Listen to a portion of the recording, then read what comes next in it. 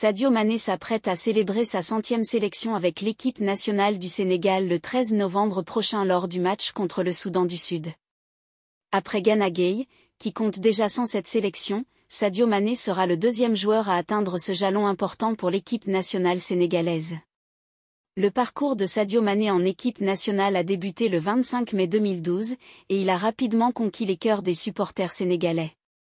Son premier match officiel a eu lieu le 2 juin 2012, où son talent a impressionné les fans. Il a depuis évolué en tant que joueur clé de l'équipe nationale.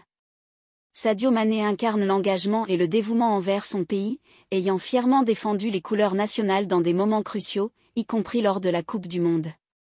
La demande d'ovation à la dixième minute du match en reconnaissance de ses sacrifices et efforts en faveur du peuple sénégalais est une belle initiative. Il est clair que Sadio Mané est un véritable soldat pour son pays, ayant représenté le Sénégal avec passion et détermination, même au prix de sa vie, comme mentionné dans votre message. Espérons que les supporters sénégalais répondront positivement à cette demande et rendront hommage à Sadio Mané lors du match. Il est également à noter que l'état du stade de Diamniadio dépendra des circonstances, mais l'intention d'honorer ce grand joueur est une démarche louable.